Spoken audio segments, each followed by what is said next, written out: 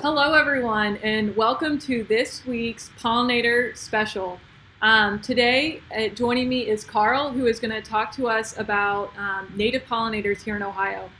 Pollinator Week was established about 13 years ago by a group called the, the Pollinator Partnership. And so they initiated this um, week and they made sure that it happened when the U.S. Senate unanimously voted to vote this week as National Pollinator Week. So, Carl, can you tell me a little bit about yourself and kind of how you've got um, involved with working with pollinators and working with honeybees? Sure. I started a long time ago, back when I was about 16 years old. I got interested in honeybees while visiting Penn State. I uh, was in their Natural History Museum, saw an observation beehive, and really got fascinated with them. And went home and got myself two beehives and started raising honeybees at 16. Did that for a while. Had a uh, internship for a while at Penn State working on their honeybees with Dr. Alan Benton, who was a leading specialist at the time in honeybees. But then, you know, college and marriage and things moved on, and after a while, I kind of got out of it. And I want to say about 10 years ago, my wonderful wife for Christmas bought me a gift card for Dadant, which is a honeybee supply house, and I got back into honeybees about 10 years ago. And at that time, I, I, have a degree in biology and wildlife biology, so I wanted to learn a little bit more about bees and bees in general, and that's when I really kind of got hooked on native bees and the importance of native bees and how much, I mean, I mean, they're really fascinating. Uh, not that honeybees aren't, but the native bees really got my interest, and I really took off and started trying to learn more about the native bees, you know, here in Ohio and elsewhere. Mm-hmm. Absolutely. Can you tell me a little bit more about how you got involved at Stratford Ecological Center? Well, I uh, retired in 2016, and I was looking for something to do in the natural sciences and getting back into nature. So I took the OCVN class, which is the Ohio Certified Volunteer Naturalist Program that OSU runs and operates. Uh, so I did that, and one of the young ladies in the class actually worked at Stratford.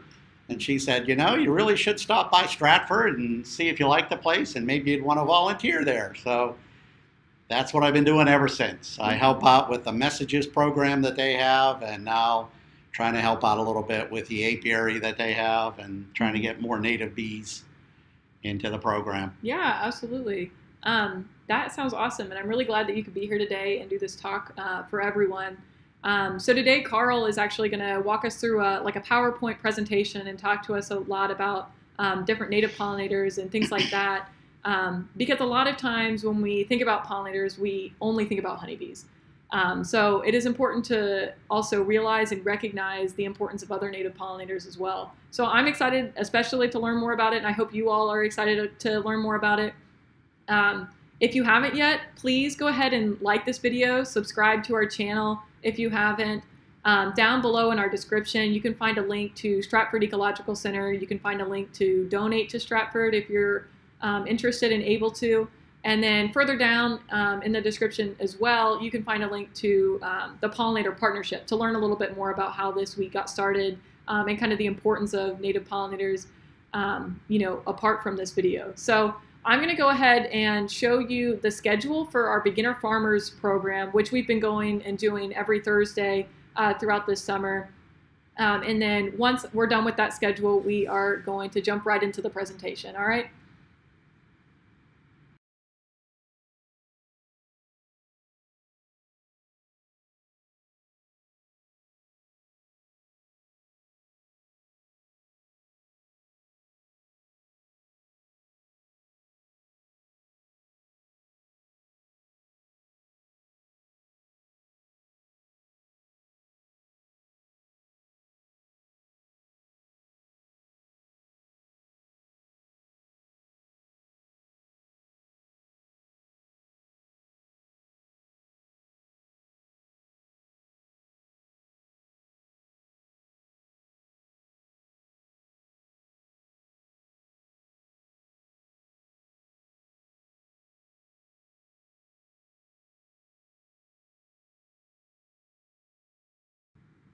You can make that. All right, this thank is you. you.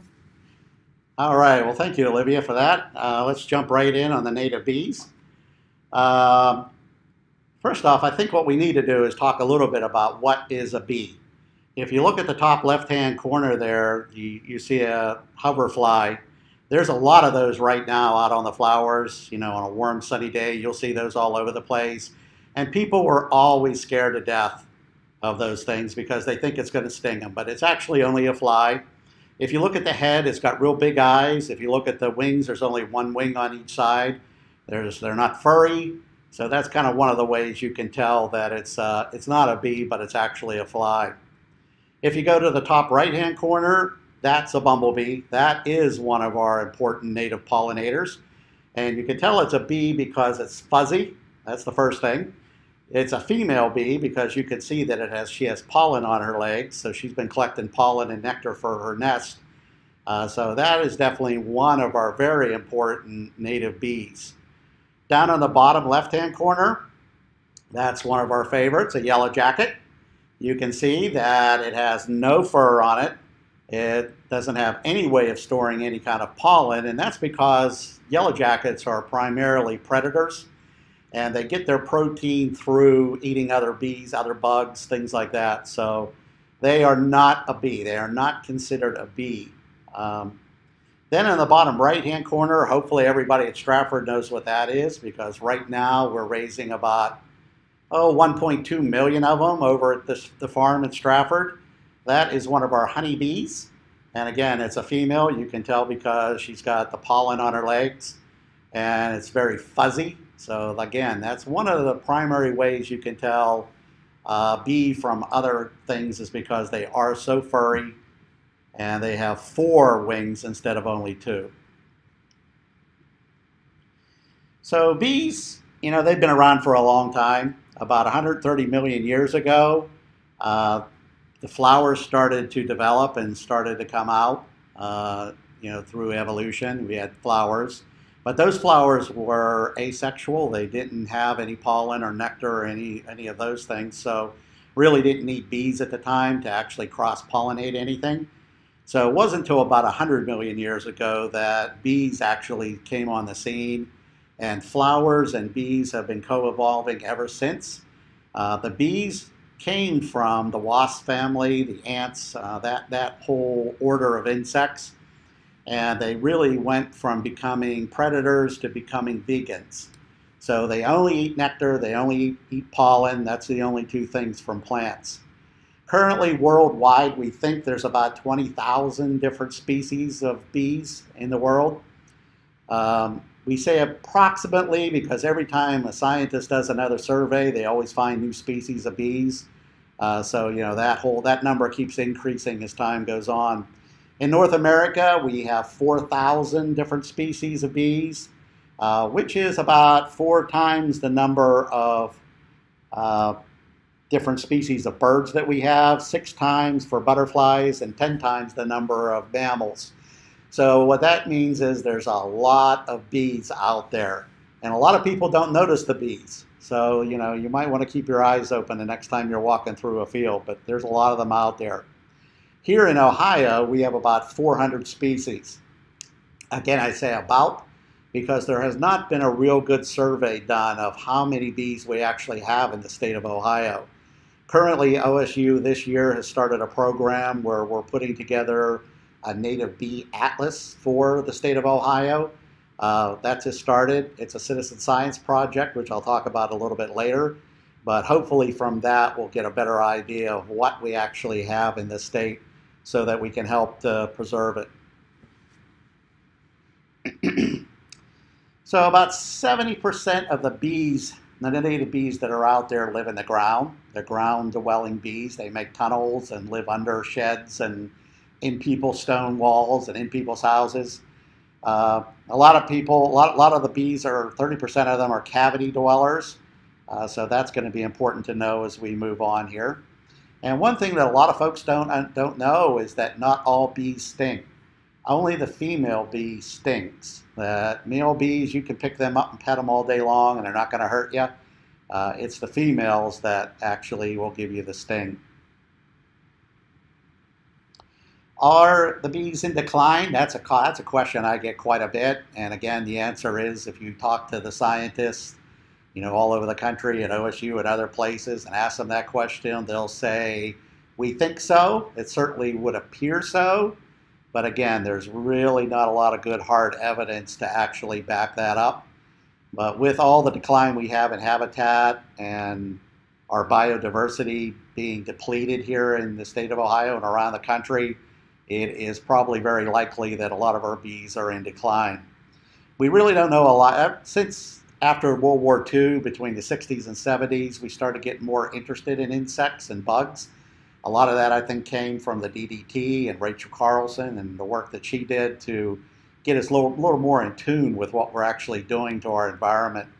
So after the 70s, more people started, more scientists started looking at the native bees around the country and around the world. So we're, we're getting more information on them as we go. And of course, colony collapse disorder, which happened in 2006, made the headlines, and a lot of people all of a sudden got really interested in pollinators and pollination. So uh, that's you know that that helped a lot in terms of getting people interested in bees. Um, we do have in 2017 the first endangered bee in uh, continental United States. I say continental because Hawaii already had a couple of them. But the rusty patch bumblebee, which was a bee that was all over the state of Ohio, if you saw a bumblebee, the chances were you, it was probably a rusty patch. That is now no longer in the state of Ohio. It's been completely gone. And the only place there's any left is up in the state of Michigan and a little bit in Michigan and in Minnesota. So that is our first endangered species. So from all that, you can probably deduce that, yeah, we really do think the native bees are in decline and, and probably in trouble. So why should we care? Well, of course, pollination. You can see here a picture of, you know, a tomato plant and how the flower turns into the tomato, and it doesn't happen unless the bees actually pollinate those flowers, so that becomes very important. About 25 to 30% of the food we eat depends on pollination. A lot of plants, a lot of food that we eat is wind pollinated or pollinated by other means. Um, like wheat, rice, corn, that's all wind pollinated. It doesn't have anything to do with bees or pollination. So that, that we don't have to worry about. But a lot of the food that we do eat, where we get a lot of our nutrients and our variety in our food supply, those plants have to be pollinated or we, or we won't have that food. So pollination is very important. There are a lot of pollinators out there. You got butterflies, you got birds, you got bats, you got bugs, and of course the flies that we see out there today. All of them are fantastic pollinators. They help, but they are in the word of in the world of pollination considered secondary pollinators. The reason being they don't need the pollen. They're not on those flowers for the pollen. They're on there for the nectar. And the pollen is kind of just stuck to them in a happenstance way, and they just luckily pollinate other flowers, so it's, it's not a primary thing that they do. The real primary pollinators are the bees. And they are considered a keystone species, meaning that if the bees go away, a lot of the ecosystems that we have currently and a lot of the biodiversity that we have on the, on, in Ohio and around the world is going to be decreased and go away if we don't have those bees. They are really built for pollinating. They're, they have uh, on their bodies, they're very furry, like I said, and that fur that they have or the hairs that they have are like a bad case of the frizzies. You know, they're all branched and very, they, they build up a lot of static as they fly. So it, it's kind of interesting to watch as a bee. There's YouTube videos out there of a bee getting close to a flower, and you can actually see the pollen jumping off of the flower and onto the bee just because of that static charge that they build up. So bees are really built for pollination, and that's why they're considered a primary pollinator. Carpenter bees, just to talk about a few of the common bees that we're going to see out there uh, while we're wandering around out in our fields. The carpenter bee, which everybody knows and loves, is not a bumblebee. Uh, it is a different genus all on its own. The way you can tell it's a carpenter bee from a bumblebee is because it's got a shiny uh, abdomen or a shiny hiney. Mm-hmm. Uh, these bees do can do a lot of damage to wooden structures. So if you have something that's not painted, if you have a, a bench or if you have a gazebo or a deck, you can see these little half inch holes that are all over it that bees are coming and going. Well, the half inch hole is not telling the whole story. If you actually cut that board in half, like you see there, you will see that those bees are tunneling all through that wood. And eventually that structure is going to be compromised and, and can cause you a lot of problems. So, but they are fantastic pollinators. They come out, they're one of the earliest bees that come out in the spring. And, uh, you know, would, would be hard pressed to be without them. Another one is the bumblebee, which I said was one of our most important pollinators globally. Uh, in Ohio, we have we think about 16 species of bumblebees, with the eastern bumblebee being the most common. That's the one you see most often when you're walking around. Uh, they do live in the ground. They have an interesting life cycle. They are the only native bee that we have in the United States that is a solitary or is a, uh, a, a social bee, eusocial they call it. And that is because they build nests that have workers, they have a queen, they divide up the labor. Uh, so they are social insects. So uh, kind of the life cycle of it is they stay, the queens will be in the ground over winter. They'll hibernate in a hibernaculum, it's called. Uh, when they come out in the fall, when it's about 50 degrees or so, they're going to go find a place to live. And usually it's a rodent nest or under a deck or somewhere where they can be out of the, out of the weather. Uh, they're going to put, they're going to create little wax cells, not quite like honeybees, but these are little cups of wax. And in there, she's going to put nectar that she's collected from the flowers in the spring. She's also going to collect pollen. And she's going to create a pollen ball, and on that, she's going to lay her eggs. And she's going to keep them warm by buzzing. And she'll keep that nest and those eggs about 90 degrees throughout the spring until they hatch. And she uses the nectar in the little cup as food to keep her going so she doesn't have to leave the eggs to go out and uh, you know forage for more nectar or pollen. Once those eggs hatch out, that's the worker bees. And about two weeks ago, I think I saw my first worker bumblebee, and you can tell because they're really small. They're a lot smaller than what you would think a bumblebee would be. So they're the workers. They're the ones that are going to take over creating those little wax cups and getting the pollen and the nectar, and all the queen's going to be doing at that point is uh, laying the eggs. About July, she's going to be starting to lay unfertilized eggs. One of the things about bees is you have males and females. The female is a fertilized egg, that's where they come from. Males are gener generated from unfertilized eggs. So she'll start laying a bunch of unfertilized eggs and create some males. Once they hatch out, They'll go out and fly around and wait for the females to come.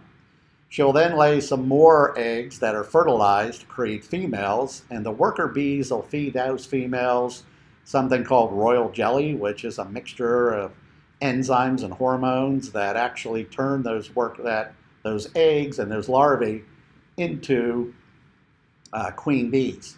The queens will fly out, mate with the males, and then They'll feed and for the rest of the fall until they build up their fat body so they can survive the winter.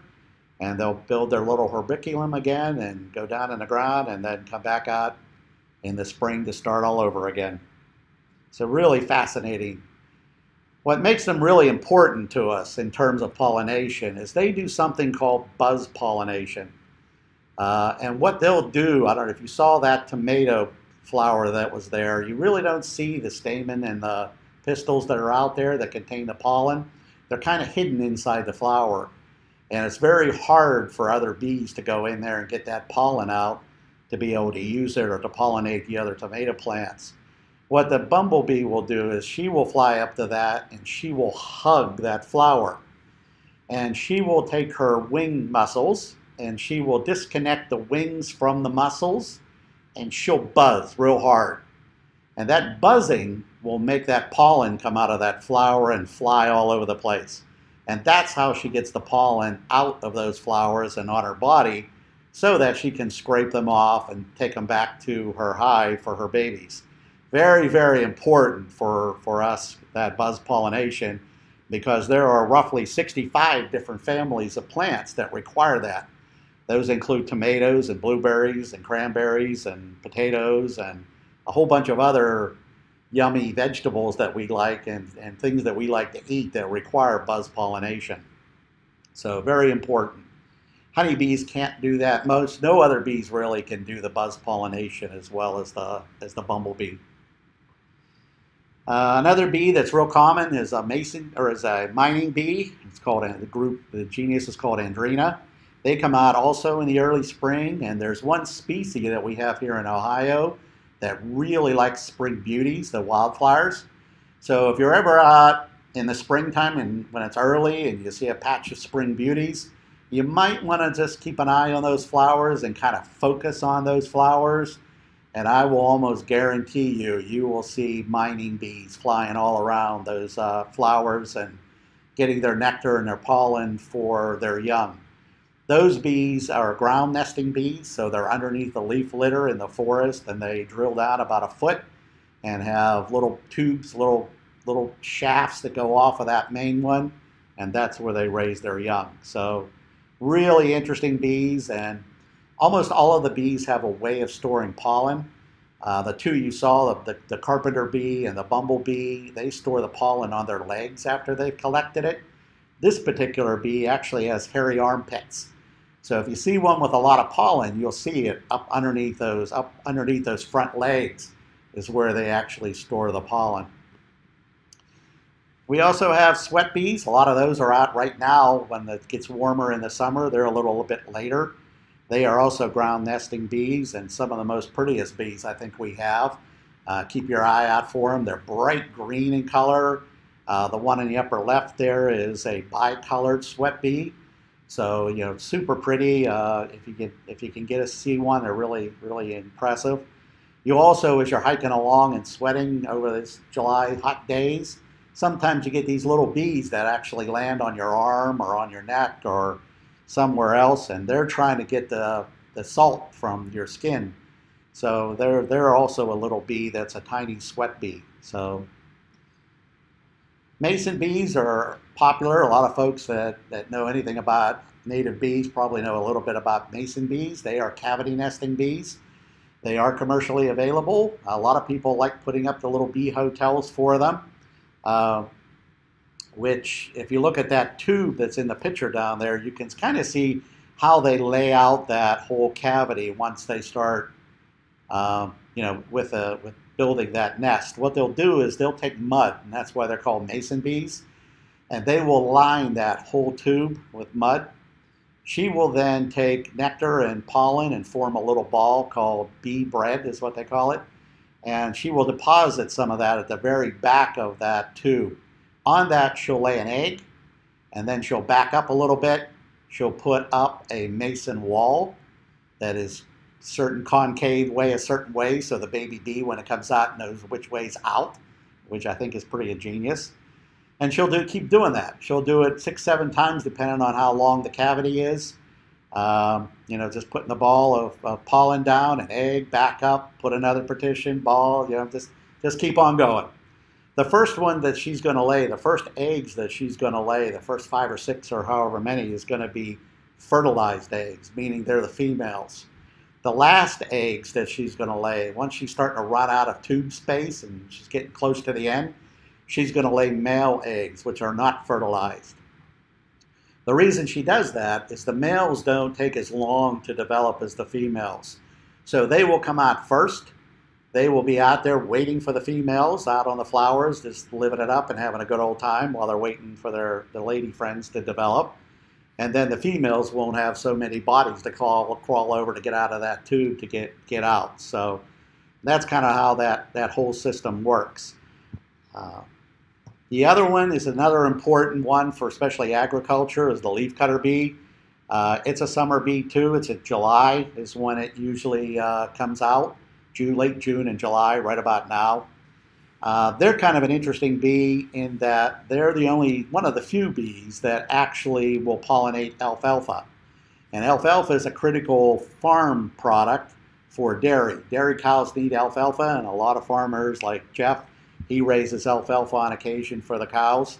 Um, but if you want a seed crop from that alfalfa, you have to have the alfalfa pollinated. Alfalfa is not easy to pollinate. A lot of bees don't like it because when the bee lands on the flower, it automatically gets smacked in the head with the little body part of that flower that has the pollen on it. And it scares a lot of bees away. So alkali bees, leafcutter bees are two that are very common that they don't seem to mind. They just take the whack on the head and get the nectar and the pollen and go about their business. So they're really important to the agricultural industry for that, for that very reason. They're kind of cool too in that they're cavity nesters as well, but instead of using uh, the mud like the mason bee does, what they'll use is little leaf parts. So if you go out in your garden and you see leaves that have little holes cut in them, little round holes, it's probably a leaf cutter bee that did that. And she will take those leaves back to the cavity. She will line the cavity with leaves. And then every little section that she's laying her eggs in are going to be little cocoons of leaves that are just bound together.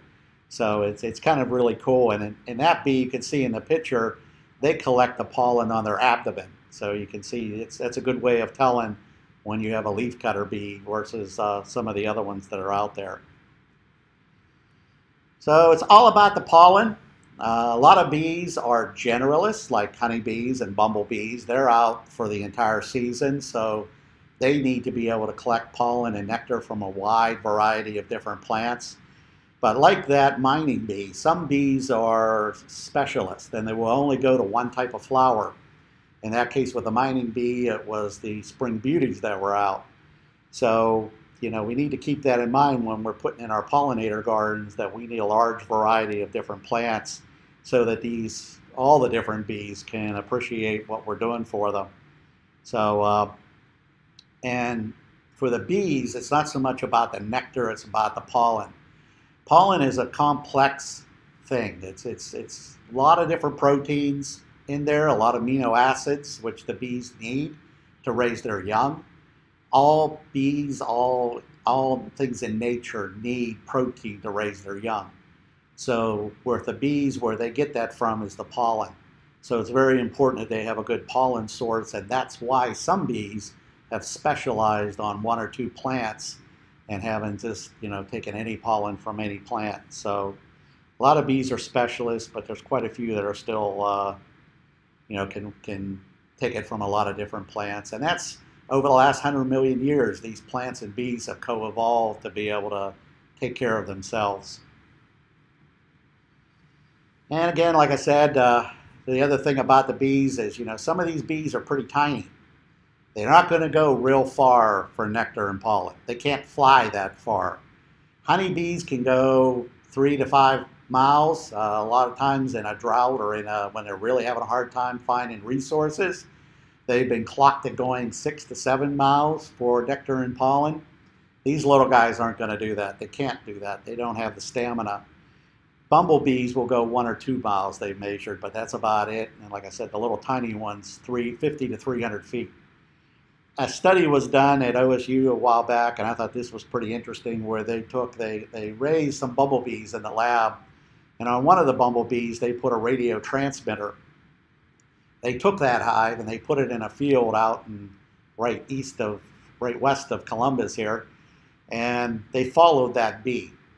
The first time the bee went out, which is the green line, excuse me, the bee was all over the place. He was going all, she was going everywhere trying to find a good source of pollen and nectar for her.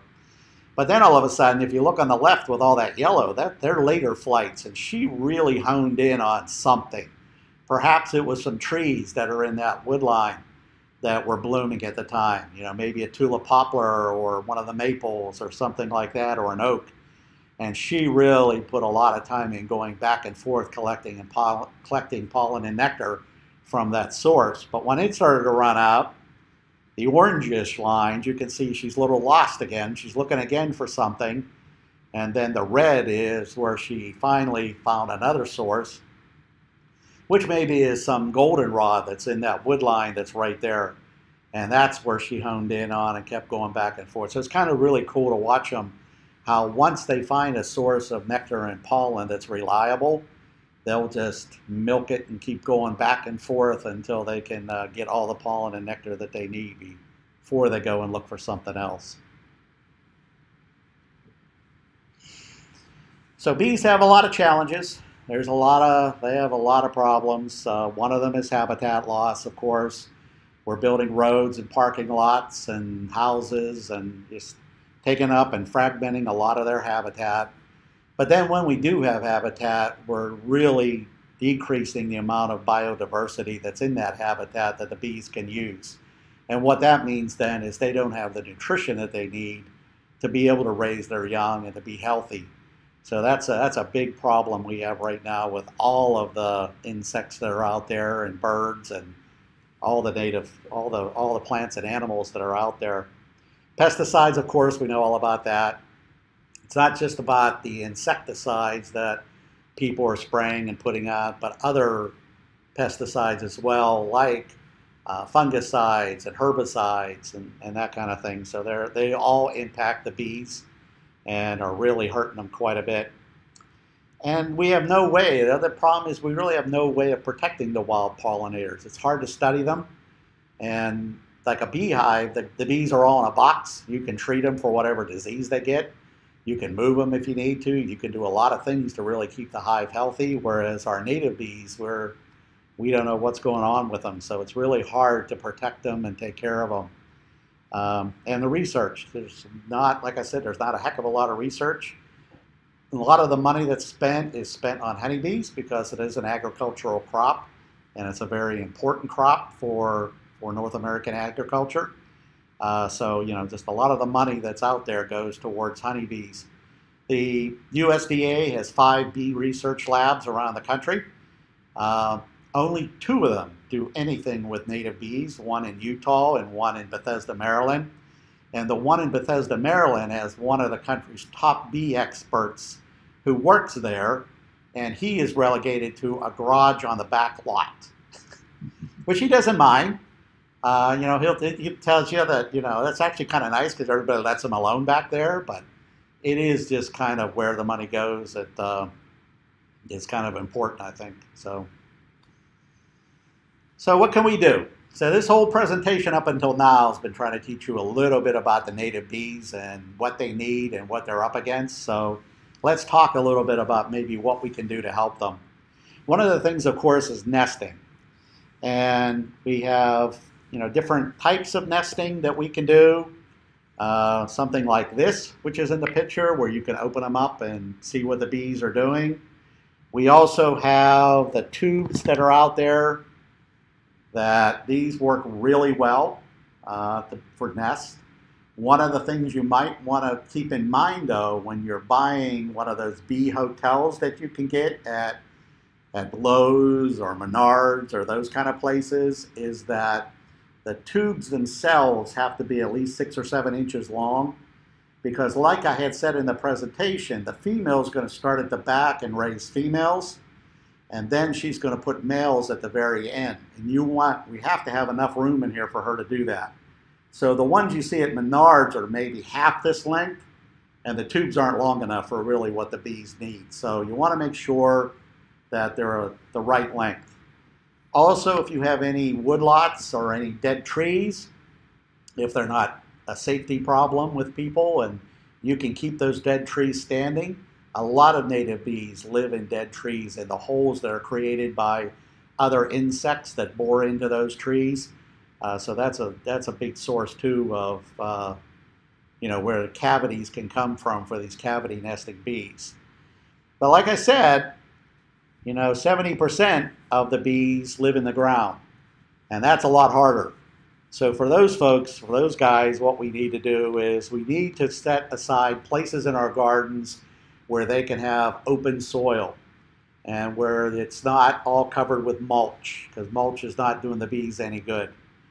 Also, if you have any rocks in your garden, boulders or, or different kinds of rock features, that's good for the native bees as well because what they like is they like those rocks to build a nest next to the rocks because the rocks will hold the heat and they don't have to heat their nesting cavities up as much. So that's a so if you are mulching, don't mulch close to the rocks.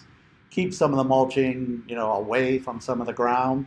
The bees kind of like a south-facing, sloping, well-drained area uh, they also like sandy if the sand if the soil is kind of loamy or sandy. That's easy for them to dig in. So they, they do like that. Uh, so, and there, I did put in the presentation a bumblebee house that's out on the web that you can try. But I will tell you, the gentleman in uh, Bethesda, Maryland, Sam Droege, who's, who's a friend of mine who who does a lot with, like I said, he's the one of the world's experts on native bees and getting bees, and he struggles with this. I mean, most people try to do these things, but they don't work. I mean, but you can try, and sometimes they do work. So I encourage it, but don't be disappointed if you, uh, all, you know, you put these up and the bees don't come, because you know that's. Uh, it's important not to disturb these bees once you find them. If you do, if you are lucky enough to have a bumblebee nest in your yard, don't disturb it, leave it alone. A lot of the bumblebees, one of the cavities that they pick to build their nest in is bluebird boxes. So a lot of bluebird monitors uh, will open up a box and be unpleasantly surprised to see that there's a nest of uh, bumblebees in there. And it seems they really like chickadee nests. That's one of their favorites. So if you have a used chickadee nest, you might want to keep an eye out for bumblebees. But I would encourage you don't do anything, don't hurt them. Like I said, there's a yearly cycle, so once the first frost hits, all the bumblebee nests will go away and they will not go back and use that same site again. They usually try to find a different site. So uh, if you just put up a little fence around it maybe or something to keep people and pets away, I would encourage just keeping keeping it there. Um, and that goes for yellow jackets too. So, but all this talk of habitat and building the nest and get it, getting the tubes up and the cavity nesters and all that, I would like to say that if you build it, they will come, but they're not going to come. They're not going to come because you don't have the habitat or the food that they need, the nutrition that they need. So if you're going to ask me, what can I, what's the one thing I can do to help the bees and help pollinators in general? I would say you have to put in a pollinator garden. That's critical because they need the food. That's step one, is to make sure that they have the nutrition and the food that they need. So in your pollinator garden, you want to remember to, that these bees have short tongues. A lot of the, the some of the native plants have long tubular type flowers, which are great for hummingbirds and butterflies and, and those kind of things, which I encourage.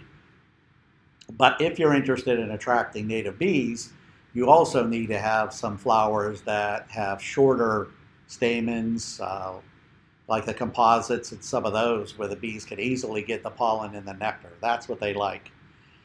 You also want to do lots of colors. You want to clump those colors together. You want to have a whole area of flowers for them because bees will not go to a place that has one flower. What they're going to look for is they're looking for a place where they can keep going back and forth like that bumblebee and keep getting nectar and pollen from a wide group of flowers. So you want to make sure you clump them together. You want to make sure you have lots of them with lots of colors. And you want to make sure that, like I said, you have different kinds of plants for the generalist, the ones that are, you know, year, year, year round. And you also want to make sure that, you know, that it's that you have them so that they can get to them and and you know make sure that they bloom what i'm trying to say make sure that they bloom for the entire season.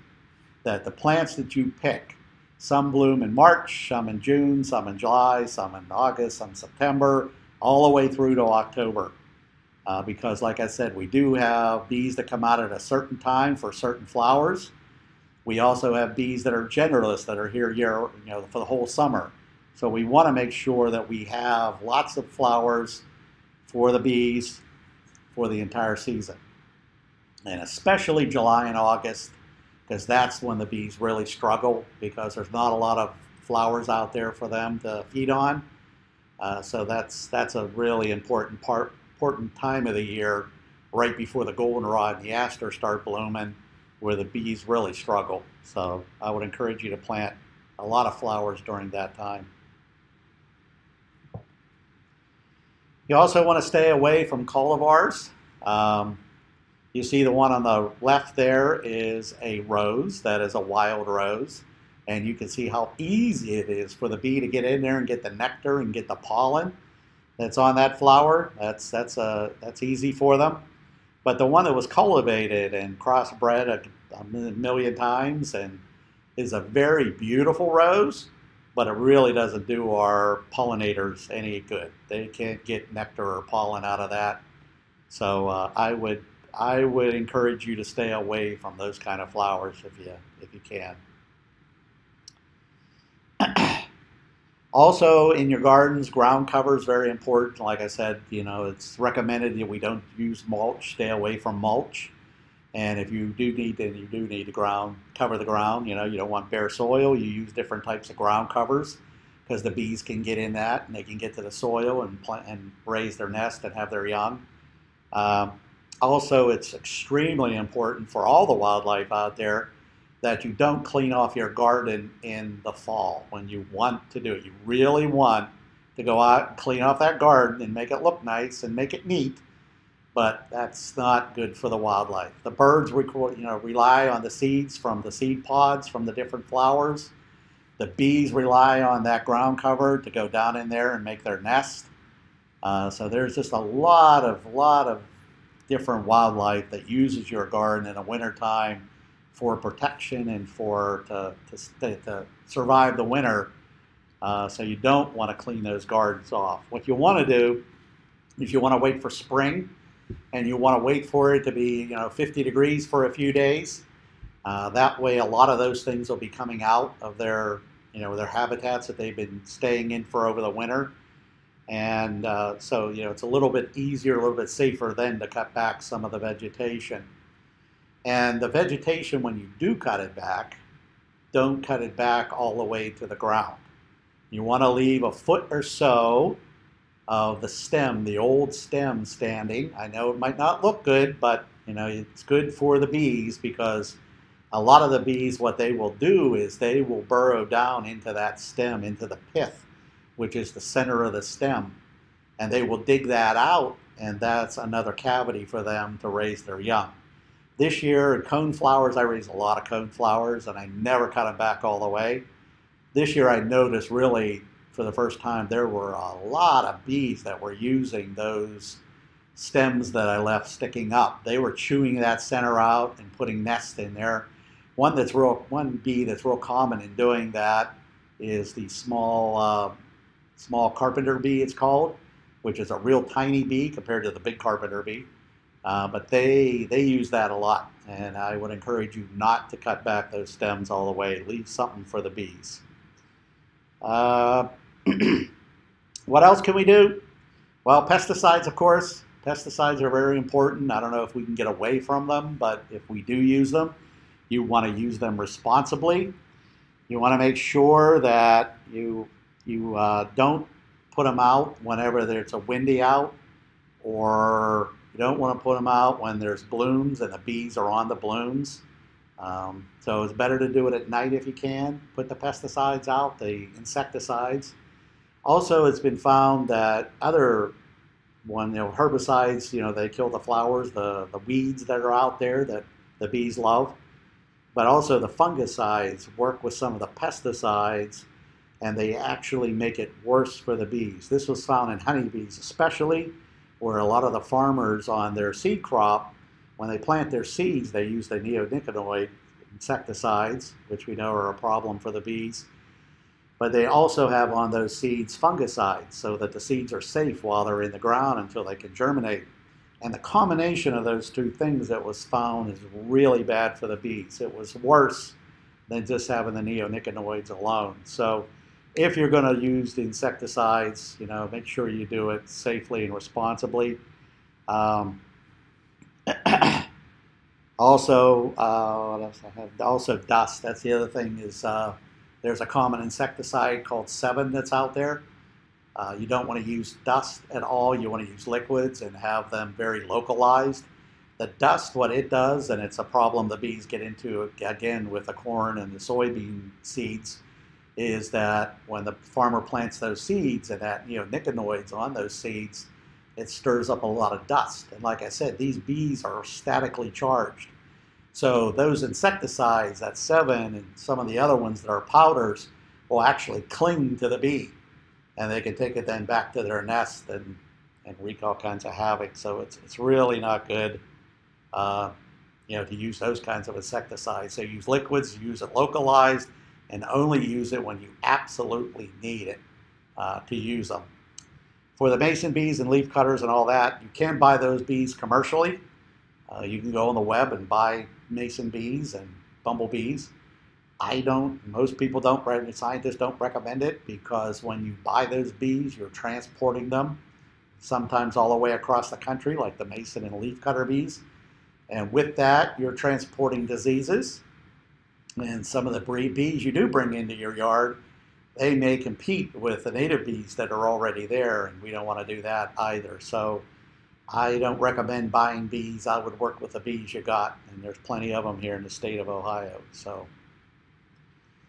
Another thing you can do that's very important, and it's becoming more and more important as the funds for research gets less and less, is to become a citizen scientist. I mentioned in the beginning that in the state of Ohio, we're doing the Ohio Bee Survey, which is one of the first surveys that's ever been done in the state of Ohio. The problem we run into is there's maybe 20 different scientists out there that are working on bees in Ohio you got quite a few down at OSU, some at University of Akron, and other universities here in the state, but that's nowhere near enough people to be able to go out and monitor, look for bees, study bees. So what they've done is they've created a science citizen science project to actually go out and survey native bees, and that's just started this spring. It is to go on for the next two years, so if you're interested, I would encourage you to go to my references, and in there I have ways that you could sign up to become involved in that. The program they're using, which is really cool, is called iNaturalist, which is a program that you can get on your computer or you can have it on your phone. Um, and it's really cool because you can take a picture of a bee, upload it, and a whole bunch of experts in the world, worldwide, will take a look at that picture and ID it for you and they it's all stored in that database. And that's one of the key programs that the scientists here in Ohio are using to do the bee survey. They're going to go off of that information, plus what all the volunteers are giving them, to hopefully come up with a relatively accurate uh, bee atlas. So it's really important, and there's a lot of different programs out there that are citizen science programs. There's ones for birds, for flowers, for bees. And these are super important because, like I said, there's just not enough scientists to go around to be able to do all the work that needs to be done. So I, I highly encourage all of you, all of you to take part in those programs. If you want more information and you don't want to copy down that ugly URL that I have on there to my reference page, uh, you can email me at daddy underscore g56 at hotmail.com and I'll be happy to send you the link.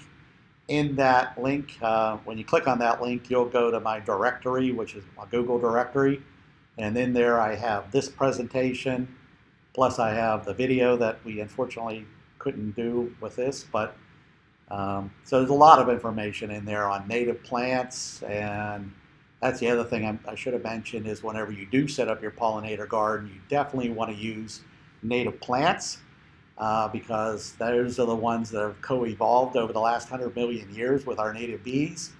And they seem to do a lot better with native plants than, than with the other plants that you can buy at the uh, nursery.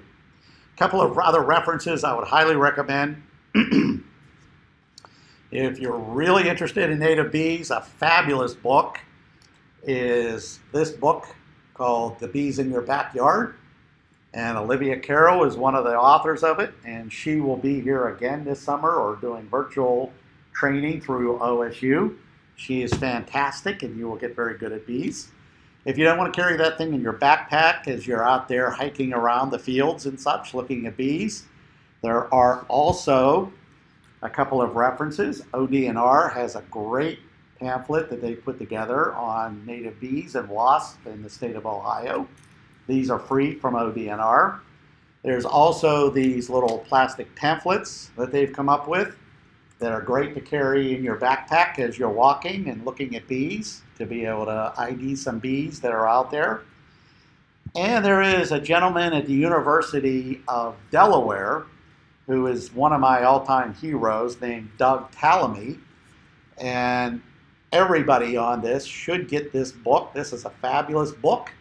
It is called Nature's Best Hope.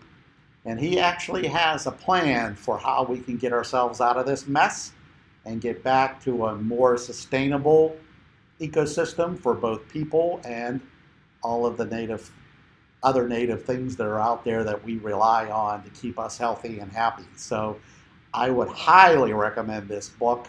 It's a, very interesting read and he has a lot of great ideas. So with that, I will turn it back over to Olivia and see if we have any questions.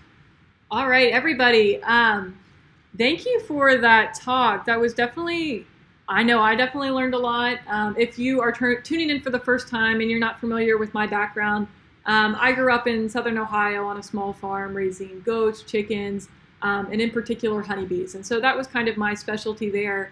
Um, and so learning about this was really interesting because, like most people, I am mostly concerned about honeybees and mm-hmm. not native bees. I have, you know, become aware of native pollinators, learning about their importance and kind of how honeybees are only a small piece in um, ensuring the importance um, and maintaining a healthy ecosystem. So I definitely want to encourage anybody that's watching right now, please, you know, ask a question in our live chat um, let us know what you're thinking, um, what kind of questions you have.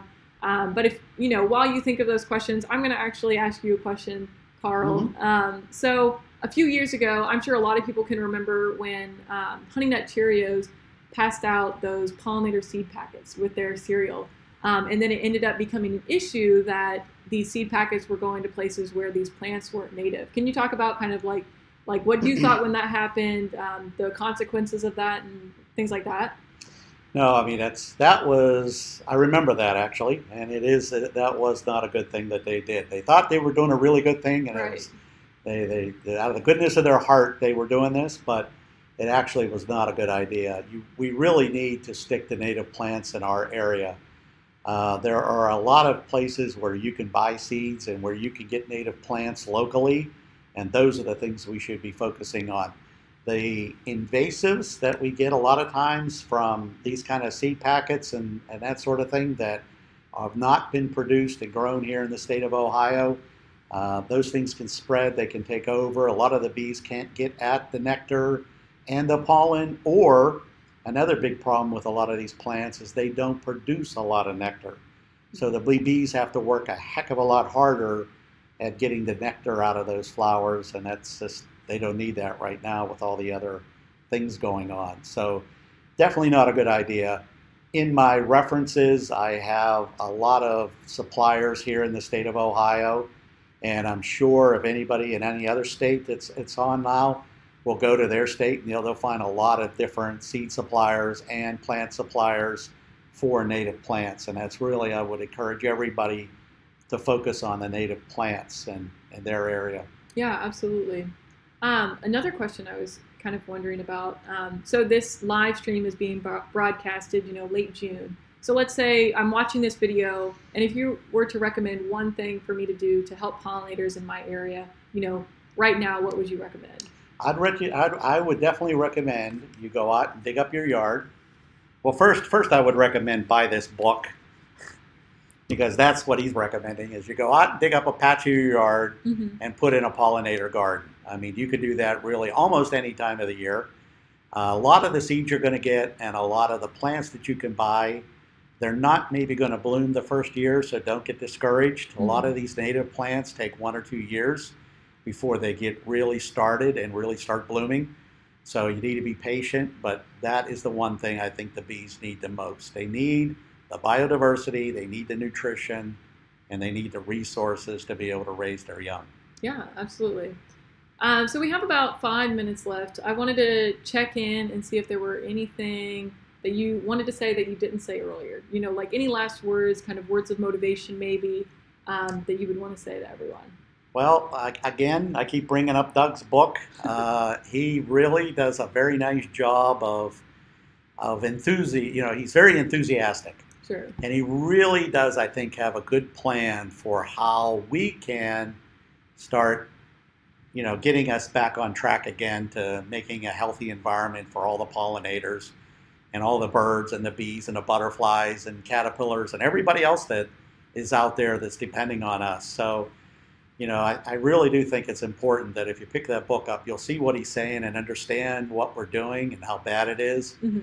and just get a good idea of some of the things you could do in your yard to really make a big difference. Yeah. Because it, it's just go on.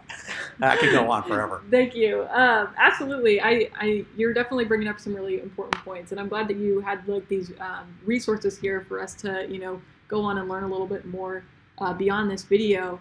Um, we had someone comment in our live chat actually. Um, Rebecca wanted everyone to know um, a link to a prairie nursery to find native plants. Um, mm-hmm. They are talking about how they have maps um, that show where each plant is, is, native to, down to the county. Wow, that's pretty impressive. Yeah, it's impressive. Um, and yep. a couple other things like what they're good for for pollinators, beneficial insects, and so on. So um, definitely, like if you're someone that is watching this video and are looking for a way to get you know involved in making positive impact after this, definitely check out that link that Rebecca um, has posted, um, so you can you know start having an impact. Yeah, there's some really fabulous information out there. University of Minnesota has a wildflower directory for native plants, mm-hmm. and that's another good place to go. They have it down to each state, what's native and not native, and yeah. what works for different caterpillars and butterflies. And because a lot of the butterflies, you know, they're very specific to a plant, like the monarch, you know, is very specific to that that one plant that they have to have. So there's a lot of good lists, and again, Doug in his book has those lists as well of what kind of what insects go with what plants and things like that. So it's a lot of good information out there. Just we're, we're blessed with the internet right. and having a lot of really good information.